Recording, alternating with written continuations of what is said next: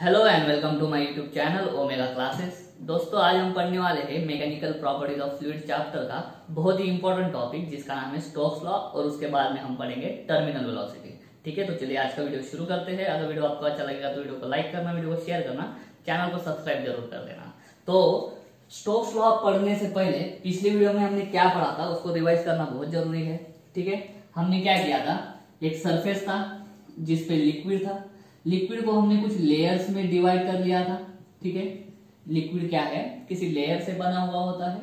और जब हम किसी पर्टिकुलर लेयर पे लगने वाला विस्कस फोर्स निकालते हैं, क्या? Viscous force acting on any layer किसी भी लेयर पे लगने वाला जब हम क्या निकालते हैं? विस्कस फोर्स निकालते हैं। तो विस्कस फोर्स का फॉर्मूला बन जाता है eta A DV by D X ठीक है?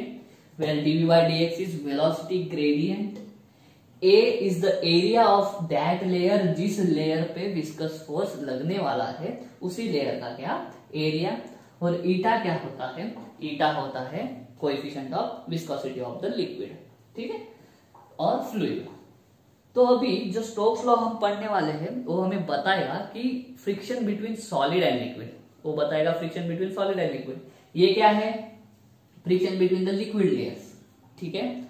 तो अभी जो स्टोक्स लॉ हम पढ़ेंगे, वो होगा सॉलिड और लिक्विड के बीच का फ्रिक्शन और वो भी एक पर्टिकुलर केस में, ठीक है? तो देखो, दो केस कैसे बनती है। मान लो एक वाटर है। वाटर है मतलब क्या है? फ्लूइड है। इस पे एक पनडुब्बी है सबमरीन जिसको हम बोलते हैं। मान लो एक सबमरीन है।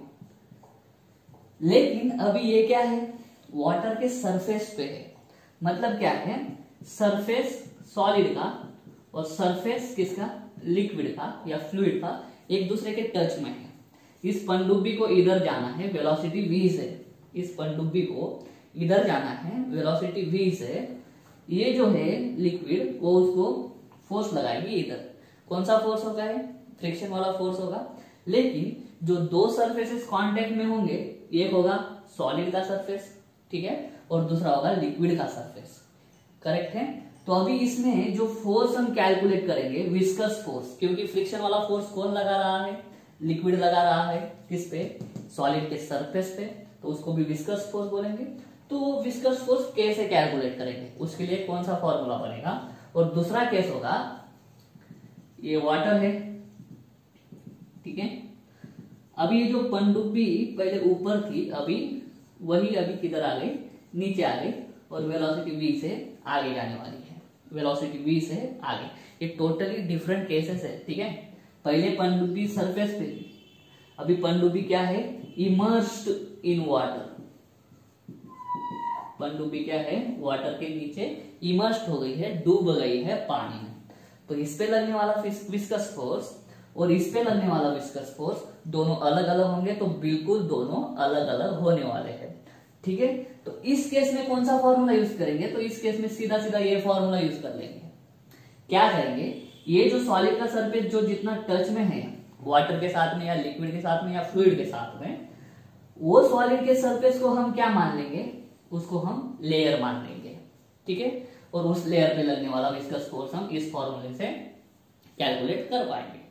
लेकिन जब कोई सॉलिड जब कोई सॉलिड लिक्विड में इमर्स हो जाता है और इमर्स होने के बाद में वो लिक्विड में मूव होता है। ठीक है? स्टोव फ्लॉक पढ़ रहे हैं हम। स्टोव फ्लॉक कब लगाएँगे? जब कोई सॉलिड लिक्विड में इमर्स है और सिर्फ़ इमर्स होकर रुका नहीं है, वो क्या हो रहा है? उस लिक्विड में मूव हो रहा है। When the solid is immerse in the liquid and it is in motion inside the liquid और it is moving through the liquid ठीक है? Then the viscous force can be calculated using Stokes law. लेकिन Stokes law सारे shape के लिए काम में नहीं आता है। स्टोक जो है, जो साइंटिस्ट है, ये स्टोक्स गैब्रियल स्टोक्स नाम है इनका।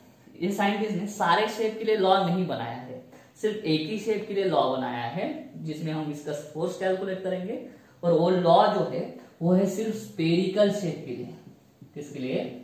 स्पेरिकल शेप अभी तक मैं उम्मीद करता हूँ कि अगर कोई सॉलिड का सरफेस लिक्विड के सरफेस के ऊपर रहा तो उस पर लगने वाला विस्कस फोर्स इस फॉर्मूले से कैलकुलेट किया जाएगा, जो हमने कल पढ़ा था। इसके लिए अलग होगा, इतना आपको समझ में आ गया है। तो अगर कोई सॉलिड लिक्विड के अंदर मूव हो रहा है, और पूरा का पूरा लिक्विड के अंदर है, तब उस पर लगने वाला जो विस्कस फोर्स है, वो विस्कस फोर्स किस किस पे डिपेंड होता है, वो पहले हम जान लेते हैं। ठीक है? When solid is immersed and moving through liquid moving through liquid या फ्लूइड बोलो। जो विस्कस फोर्स है, वो किस किस पे डिपेंड करता है? सबसे पहली चीज़, ठीक है, ये बुक में नहीं है आपके। सबसे पहली चीज़ है कि विस्कस फोर्स किस पे डिपेंड करता है? तो साइज़ और most importantly shape of solid ठीक है? दूसरी चीज़ होती है वेलोसिटी ऑफ़ सॉलिड और थर्ड चीज़ होती है जिस लिक्विड में वो सॉलिड मूव हो रहा है, उसका लिक्विड का coefficient of viscosity of liquid ठीक है? तो लिक्विड के अंदर कोई भी सॉलिड का शेप मूव कर सकता है क्यूब भी मूव कर सकता है पैरेललोपिप्ट भी मूव कर सकता है उसके बाद में कोई भी थ्री डायमेंशनल बॉडी ले लो स्पीयर मूव कर सकता है, ठीक है? ऐसे बहुत सारी चीज़ें सॉलिड में सॉरी सॉलिड की बनी हुई लिक्विड के अंदर इमर्स होके मूव हो सकती है। तो सारे के लिए जो फ्रिक्शनल सॉरी जो विस्कस फोर्स होगा, या फिर friction force applied by the liquid उसी को हम क्या बोलेंगे? विस्कस फोर्स और विस्कस फोर्स हर एक शेप के लिए अलग अलग होगा, ठीक है? तो शेप के लिए अलग अलग होगा। तो उसमें से जो स्टोक्स है, इस स्टोक्स ने क्या किया? सिर्फ़ और सिर्फ़ स्पेरिकल बॉडी के लिए स्पेरिकल शेप के लिए एक लॉ बनाया। और लॉ बहुत आसान है, वो अभी हम पढ़ने वाले हैं, ठीक है? क्या है? The viscous force acting on a spherical body कौन सी बॉडी स्पेरिकल बॉडी सिर्फ़ और सिर्फ़ स्पेरिकल बॉडी के लिए ही बना है ये rule the viscous force acting on spherical body when immersed inside the liquid and moving with velocity v. अगर कोई स्पेरिकल बॉडी लिक्विड में इमर्स है और लिक्विड के अंदर वो v वेलोसिटी से मूव हो रही है तो उस पर लगने वाला विस्कस फोर्स किस किस पे डिपेंड करेगा? या मैं डायरेक्टली लिखता हूँ, वो डायरेक्टली प्रोपोर्शनल होता है। डायरेक्टली प्रोपोर्शनल मतलब एक बड़ा तो दूसरा भी बड़ा। किस किस को तो सबसे पहला साइज़ पे मतलब रेडियस पे डिपेंड करेगा स्पीयर की रेडियस पे डिपेंड करेगा, और अगर रेडियस बढ़ गई स्पीयर की अगर रेडियस बढ़ गई तो विस्कस फोर्स बढ़ जाएगा। क्योंकि रेडियस बढ़ी तो ज़्यादा ज़्यादा एरिया कांटेक्ट में आएगा, ज़्यादा ज़्यादा एरिया कांटेक्ट में आया तो विस्कस फोर्स बढ़ जाता है, पिछले वीडियो में हमने पढ़ा है। ठीक है? दूसरा दूसरा क्या बोलेंगे? वेलोसिटी ऑफ़ स्पेरिकल बॉडी अगर किसी लिक्विड में कोई सॉलिड बॉडी स्पेरिकल बॉडी अगर ज़्यादा वेलोसिटी से मूव हो रही है तो उस पर लगने वाला विस्कस फोर्स भी क्या होगा? ज़्यादा होगा। स्पेरिकल बॉडी की वेलोसिटी कम उस पर लगने वाला विस्कस फोर्स कम। अगर स्पेरिकल बॉडी की वेलोसिटी ज़्यादा उस पर लगने वाला विस्कस फोर्स भी ज़्यादा। और थर्ड है coefficient of viscosity of liquid वो स्पेरिकल बॉडी जिस लिक्विड में इमर्स होके मूव हो रही है उस लिक्विड के कोएफिशिएंट ऑफ़ विस्कोसिटी पे डायरेक्टली प्रोपोर्शनल होगा। रेडियस मतलब आर वेलोसिटी मतलब v और कोएफिशिएंट विस्कोसिटी मतलब ईटा तो एक साथ कैसे लिख सकते हैं? Viscous force acting on the spherical body which is immersed inside the liquid and moving with velocity v ठीक है? Uh, viscous force is directly proportional to coefficient of viscosity radius and velocity ठीक है? अभी क्या बात हुई है? अभी बात ऐसी है कि जब डायरेक्टली प्रोपोर्शनलिटी का साइन हमें हटाना होता है तो अब हमें क्या करना पड़ता है? इसमें एक कांस्टेंट लगाना पड़ता है। ये जो कांस्टेंट है, ये एक्सपेरिमेंट करके निकाला गया है, और वो कांस्टेंट का वैल्यू है सिक्स पर अब ये एक्सपेरिमेंट कौन सा था? कैसे निकाला? वो हमारे सिलेबस में है नहीं। खाली इतना जान दो कि वो कांस्टेंट क्या है? सिक्स इंटू पाई ठीक है तो ये है आपका स्टोक लॉ बहुत ही सिंपल है क्या है the viscous force acting on the spherical body when the body is immersed inside the liquid and moving with some velocity then the viscous force acting on it is directly proportional to the radius of the spherical body the velocity of the spherical body and coefficient of the viscosity of the liquid in which that body is moving correct है इसके लिए diagram है कुछ ज़रूरत तो थी नहीं ये लिक्विड दिया है आपको। ठीक है? इसमें क्या किया है? एक्सपेरिकल बॉल को ड्रॉप कर दिया है। ड्रॉप करने के बाद अपनी खुद की जगह बनाएगा। इसके लिए लिक्विड ऐसा बता दिया है डायग्राम में। ठीक है? ऐसा। कुछ। तो उम्मीद करता हूँ आपको स्टोक लॉ समझ में आ गया होगा। ठीक है? डायरेक्ट बुक में लॉ बोल दिया है, लेकिन वो लॉ कब यूज़ करना? जब बॉडी पूरा का पूरा किसके अंदर हो? लिक्विड के अंदर हो। और लिक्विड के अंदर जाके वो स्टील नहीं हो जाना चाहिए। उस बॉडी ने क्या करना चाहिए? उस बॉडी ने मूव करना चाहिए। अगर वेलोसिटी नहीं रहा बॉडी के पास तो उसके कुछ विस्कस फोर्स नहीं लगेगा। ठीक है? ये जो फॉर्मूला है, ये हम डायमेंशनल एनालिसिस लगा के भी यूज़ कर सकते हैं। क्या करेंगे? एक साइड पे फोर्स का डायमेंशन लिखेंगे। ये तो कांस्टेंट को के मान लेते हैं। डायमेंशनल एनालिसिस के application class eleven chapter first ठीक? ठीक है? उसमें सेकंड या थर्ड एप्लीकेशन है कि to find the relation between related quantities तो वो यूज़ करके हम कर सकते थे कैसे eta raise to A R raise to P B raise to C लगा के। याद होगा? ये दोनों को इक्वेट करके इसका डायमेंशन लिखो, इसका लिखो इसका लिखो। आपको बराबर ए बी और सी कितना मिल जाएगा? वन मिल जाएगा। ठीक है? तो ये फॉर्मूला डायमेंशनल एनालिसिस से भी हम प्रूव कर सकते हैं। ध्यान में रखना है आपको ये फॉर्मूला आगे लगने वाला है। तो अभी देखते हैं हम टर्मिनल वेलोसिटी। तो चलिए देखते हैं। तो नेक्स्ट टॉपिक है हमारा टर्मिनल वेलोसिटी ठीक है? अभी टर्मिनल वेलोसिटी क्या है? टर्मिनल मतलब एंड वाली वेलोसिटी टर्मिनल मतलब एंड वाली वेलोसिटी किसकी? तो अभी फिर से वही स्पेरिकल बॉडी के लिए सिर्फ़ किसके लिए? स्पेरिकल बॉडी के लिए। देखो क्या है? बरसात आपने देखी होगी, ये बादल है। ठीक है? ये बादल में से पानी की बूंद नीचे आती है। ठीक है? इस बूंद के पास कुछ ना कुछ मास होगा और एक्सेलरेशन ड्यू टू ग्रेविटी की वजह से वो फोर्स डाउनवर्ड आएगा और इस डाउनवर्ड फोर्स के कारण बूंद नीचे आएगा, ठीक है? मान लो जब वो बादल से निकला, तब उसके पास वेलोसिटी कितनी थी? ज़ीरो ठीक है? और force is equal to M G लग रहा है। जी कितना मानते हैं हम? या फिर जी कितना होता है? दस मीटर पर सेकंड स्क्वायर इसका मतलब आपको समझ में आ रहा है हर सेकंड में इस बूंद का वेलोसिटी कितने से बढ़ेगा? In one second the velocity will increase by 10 metre per second ऐसा इस एक्सेलरेशन का मीनिंग है। एक्सेलरेशन का मीनिंग क्या होता है? Change in velocity with respect to time और 10 मीटर पर सेकंड स्क्वायर का मतलब क्या है? कि वेलोसिटी 10 मीटर पर सेकंड से बढ़ेगा। कितने वक्त में? एक सेकंड में। कितने वक्त में? एक सेकंड में। चलो बूंद निकली, पहले सेकंड में उसका स्पीड कितना हो गया? दस मीटर पर सेकंड दूसरे सेकंड में कितना हो गया? बीस मीटर। दसवें सेकंड में कितना हो गया? सौ मीटर पर सेकंड। और जब तक वो नीचे आएगी, ज़मीन पे आएगी, तब तक उसका स्पीड मेरी माने तो हज़ार मीटर पर सेकंड तक भी जा सकती है। माना कि जो बूंद है, उसका मास बहुत कम है, ठीक है? लेकिन उसका जो बाद का स्पीड होता है, वो बहुत ज़्यादा होता है और मास इंटू वेलोसिटी मोमेंटम ज़्यादा हो जाएगा। मोमेंटम ज़्यादा हो जाएगा और इतना मोमेंट वाला बूंद अगर किसी को लगेगा ना, वो माथा फोड़ देगा। किसी का, किसी को अगर एक बूंद लग गई इस वेलोसिटी से आने वाली तो वो क्या करेगी? जिस पर्सन के माथे पे वो बूंद गिरेगी, उसका माथा फोड़ देगी। लेकिन ऐसा होता नहीं है। ऐसा होता नहीं है। जो बूंद धरती पे आती है, जो बूंद अपने सिर पे पड़ती है, उसका स्पीड ज़्यादा से ज़्यादा कितना होगा? दस, पंद्रह या बीस मीटर पर सेकंड होगा, ज़्यादा से ज़्यादा। तो ऐसा क्यों होता है? तो ऐसा क्यों होता है? ठीक है? तो वो वाला किस्सा हम अभी इसमें पढ़ने वाले हैं। तो जरा ऊपर ऊपर का समझ लो। ये बूंद जब नीचे आएगी, ये किसमें से आने वाली है? फ्लूइड में से। और फ्लूइड कौन है इधर? एयर भी क्या होता है? फ्लूइड होता है। फ़र्स्ट लेक्चर में पढ़ा था हमने इस टॉपिक के, इस चैप्टर के, कि एनीथिंग दैट कैन फ्लो पानी बहता है, पानी फ्लूइड है, हवा बहती है, हवा फ्लूइड है। ये जो बूंद है, इस फ्लूड में से आने वाली है। ठीक है?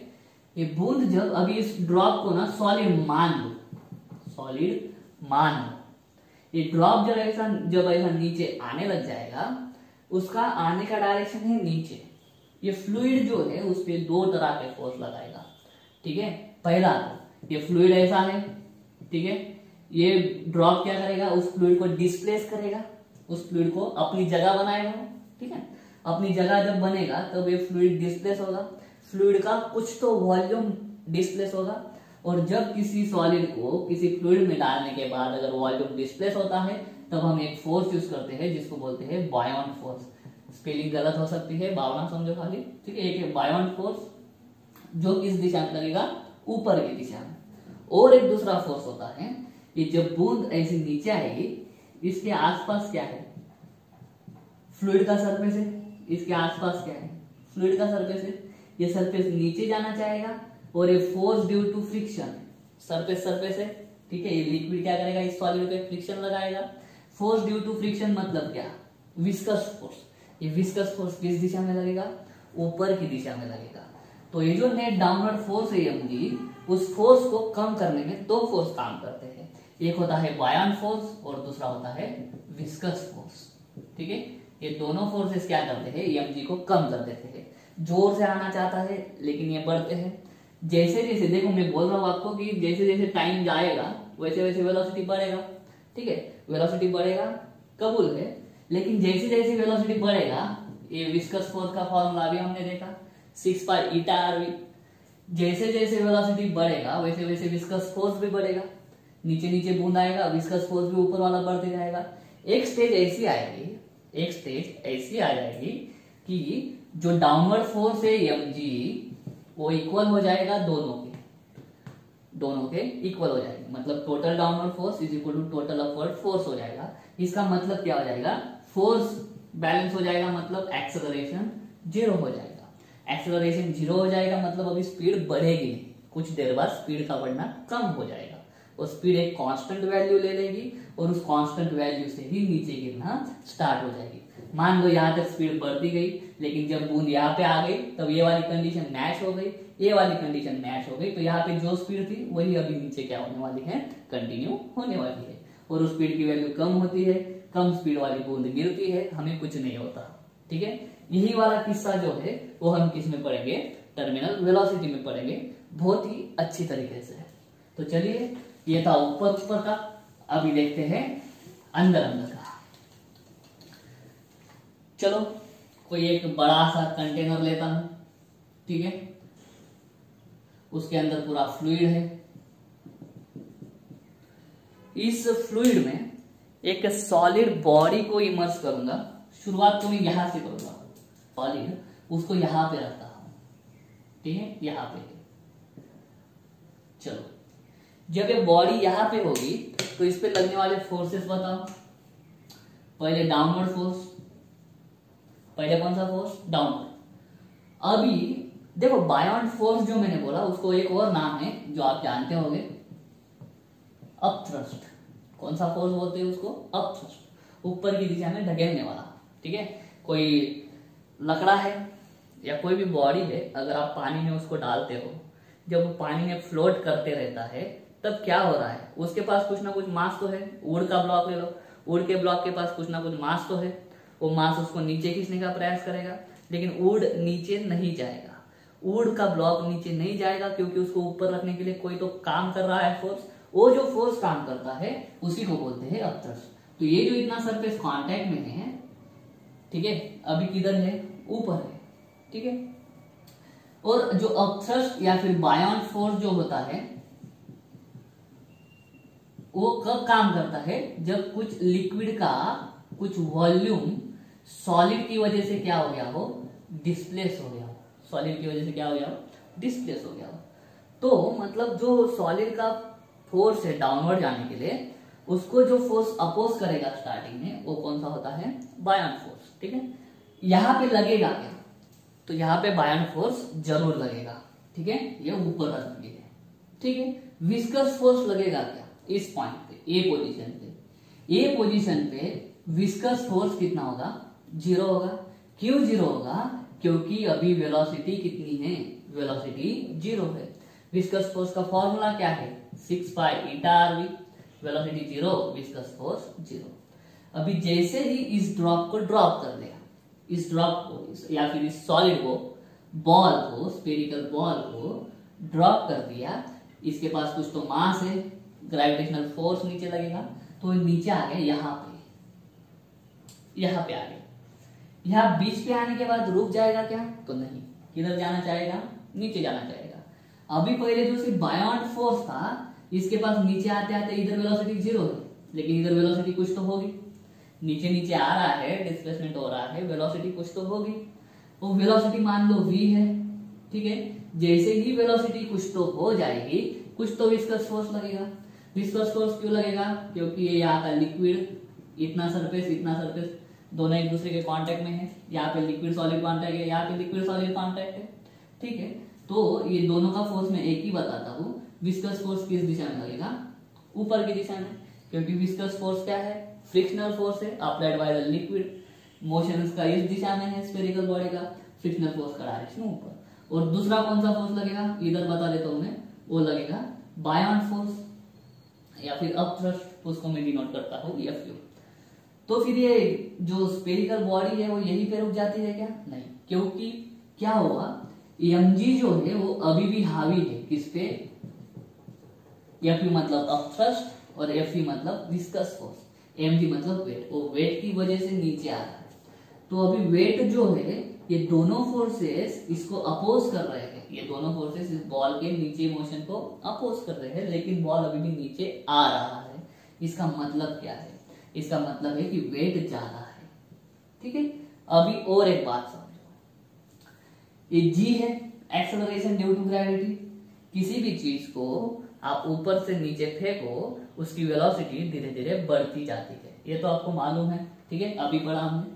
तो ये जो स्पेरिकल बॉल है, उसकी वेलोसिटी नीचे नीचे बढ़ती जाएगी। जैसे जैसे बॉल नीचे नीचे नीचे नीचे नीचे नीचे आते जाएगा, वैसे वैसे उसकी वेलोसिटी बढ़ती जाएगी। जैसे जैसे वेलोसिटी बढ़ती जाएगी as velocity increases viscous force भी बढ़ता जाएगा। ठीक है? अभी ठीक से, अभी एकदम ठीक से स्पेरिकल बॉडी का मास कांस्टेंट है। Acceleration due to gravity constant है। पक्का? ठीक है। तो देयर फोर क्या हो गया? एम जी कॉन्स्टेंट हो गया। दूसरा, ये जो बॉल है स्पेरिकल बॉल इसका वॉल्यूम कांस्टेंट है। इसके वॉल्यूम की वजह से इस लिक्विड का जितना वॉल्यूम डिस्प्लेस होगा, वो डिस्प्लेस होने वाला वॉल्यूम भी कांस्टेंट होगा। ठीक है? और वॉल्यूम कांस्टेंट है। ठीक है? जो लिक्विड डिस्प्लेस होगा, उसका भी वॉल्यूम कांस्टेंट है। तो इसकी वजह से जो लिक्विड इस पे लगाने वाला अपथ्रस्ट है, ये अपथ्रस्ट भी क्या हो जाएगा? कांस्टेंट हो जाएगा। अगर वॉल्यूम कांस्टेंट है तो अपथ्रस्ट भी कांस्टेंट है। ठीक है? क्योंकि अपथ्रस्ट कैसे निकालते हैं? अगर हम किसी बॉडी को फ्लूइड के अंदर डालते हैं, ठीक है? अगर कोई बकेट है, उसके अंदर लिक्विड है, और हमने कुछ ड्रॉप कर दिया तो इस बॉडी का जितना वॉल्यूम होगा, उतना वॉल्यूम वाला वाटर ऊपर आ जाएगा। ठीक है? तो ये बॉडी का वॉल्यूम मतलब इतना वॉल्यूम ये जब बॉडी आप पुट करोगे बॉडी का जितना वॉल्यूम होगा, उतना ही वॉल्यूम ऑफ़ वाटर ऊपर आ जाएगा। ठीक है? तो इस वाटर का वॉल्यूम इंटू वाटर का डेंसिटी मास हो गया वाटर का, और इंटू क्या लगा दो? जी लगा दो। ठीक है? ऊपर वाला फोर्स है मतलब ग्रेविटी को अपोज करने वाला फोर्स होता है वो। तो ये जो फोर्स हो जाता है, इसी को बोलते हैं बायन फोर्स या अपथ्रस्ट ठीक है? सॉलिड के डालने के बाद कितना लिक्विड का वॉल्यूम डिस्प्लेस हुआ? वो लिक्विड का वॉल्यूम ले लो। वो जो लिक्विड डिस्प्लेस हुआ है, उसका डेंसिटी ले लो। ये मास हो जाएगा फिर वॉल्यूम इनटू डेंसिटी और उसको जी से मल्टीप्लाई कर दो। क्या हो जाएगा? आपको अपथ्रस्ट मिल जाएगा। तो अभी क्या है? स्पीयर का वॉल्यूम कांस्टेंट है। इसलिए इस लिक्विड का जितना भी वॉल्यूम डिस्प्लेस होगा, वो कांस्टेंट होगा। डेंसिटी तो कांस्टेंट ही रहती है। एक्सेलरेशन ड्यू टू ग्रेविटी भी कांस्टेंट होता है। अपथ्रस्ट कांस्टेंट रहेगा। ठीक है? तो अभी चेंज कौन होने वाला है इसे वेलोसिटी धीरे धीरे बढ़ रही है। वेट की वजह से। वेलोसिटी जैसे जैसे बढ़ेगी, वैसे वैसे आपका क्या हो जाएगा? फ्रिक्शनल फोर्स मतलब विस्कस फोर्स बढ़ जाएगा। और अभी मालूम है हमें कि डाउनवर्ड फोर्स कौन सा है? डाउनवर्ड फोर्स है एम और अपवर्ड कौन सा है?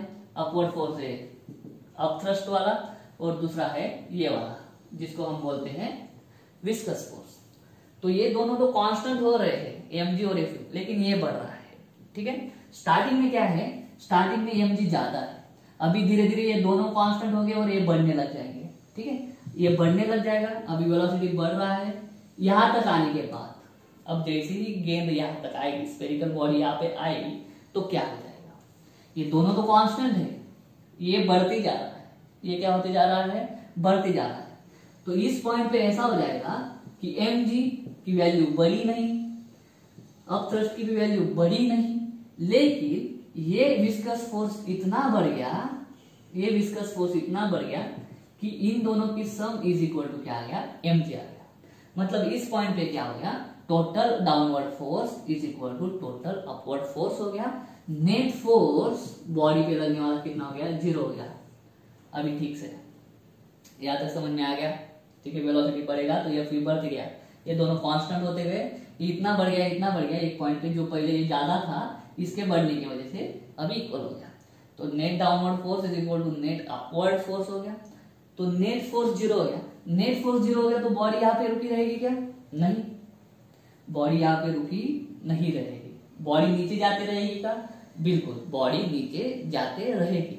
देखो फोर्स का मतलब क्या है?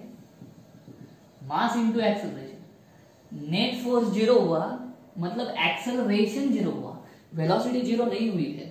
समझ में आ रहा है एक्सेलरेशन ज़ीरो हुआ पहले जो वेलोसिटी बढ़ रही थी मतलब वेलोसिटी चेंज हो रही थी मतलब एक्सेलरेशन था अभी नेट फोर्स ज़ीरो होने की वजह से एक्सेलरेशन ज़ीरो हो गया इसका मतलब ये नहीं कि वेलोसिटी ज़ीरो हो गई इसका मतलब ये है कि चेंज इन वेलोसिटी ज़ीरो हो गई यहाँ पे वेलोसिटी का चेंज कैसे होता था वेलोसिटी बढ़ रही थी अभी वेलोसिटी का चेंज ज़ीरो हो गया मतलब अभी वेलोसिटी कांस्टेंट हो जाएगी अभी वेलोसिटी क्या हो जाएगी कांस्टेंट और वो बॉडी कांस्टेंट वेलोसिटी से नीचे आने लग जाएगी। अभी वेलोसिटी बढ़ेगी नहीं। तो फिर वो जो कांस्टेंट वेलोसिटी होगी, उसी वेलोसिटी को हम बोलेंगे टर्मिनल वेलोसिटी ठीक है? तो टर्मिनल वेलोसिटी की डेफिनेशन कैसे बनाओगे? The terminal velocity is defined as the terminal velocity is defined as the constant velocity velocity of body ये बुक में नहीं है। With which with which it falls or with which it falls when it is immersed in the liquid. ठीक है? और velocity की constant value शुरुआत में वेलोसिटी बढ़ रही थी तो कौन सी वैल्यू लेना वो हमें मालूम नहीं था। कुछ देर बाद वेलोसिटी कांस्टेंट हो जाती है। उस कांस्टेंट वेलोसिटी को ही हम क्या बोल देंगे? टर्मिनल वेलोसिटी बोल देंगे। अभी हम क्या करेंगे? टर्मिनल वेलोसिटी की वैल्यू निकालेंगे। ठीक है? उसके लिए फॉर्मूला निकालेंगे। तो अभी टर्मिनल वेलोसिटी हमें कब मिलता है? टर्मिनल वेलोसिटी हमें तब मिलता है जब क्या हो गया? नेट डाउनवर्ड और नेट अपवर्ड फोर्स क्या आ गया? कांस्टेंट आ गया। तो downward force is equal to upward force रहेगा। तब वेलोसिटी कांस्टेंट होगी। चलो डाउनवर्ड फोर्स कौन सा है?